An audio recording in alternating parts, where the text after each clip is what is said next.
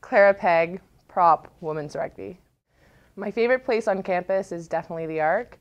I see a lot of my friends there, it's where I work out, and our team room always has someone to chat to in it. So I chose kin because I thought it applied to my life a lot. Um, I really liked sports psych and physiology and learning how the body worked.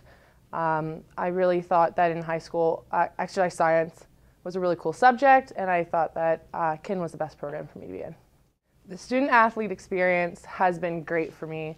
The support system I get through Queen's is amazing. My teammates are always there for me. They're there to do homework with me, they're there to work out with me, they're there if I need anything. So, incorporating the two really has helped me be better in both areas. I've been a better athlete because a lot of my um, friends are supportive of me and going to the gym with me and pushing me on the field and I'm a better student because we help each other off the field as well.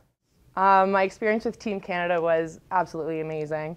I loved every single part of it. Um, I got to meet some really cool people and get to know them, and I think I learned a lot of leadership skills, a lot of on field experience that I can take back to Queen's, and um, it was just overall a lot of fun. Um, my biggest fan is definitely my mom. She comes out to every single game. She has since I was 14, starting out in rugby. Uh, she never misses a game. She's flown out to California to watch me play, and she's always there in the loop with me, sending me emails about updates of Rugby Canada and what's going on in the rugby world. So, yeah, she's definitely my biggest fan. As a team, I think everyone likes to do different things in terms of rituals. We um, are always goofy and a little bit obnoxious, but when we get into game mode, everyone's really serious and ready to do a job.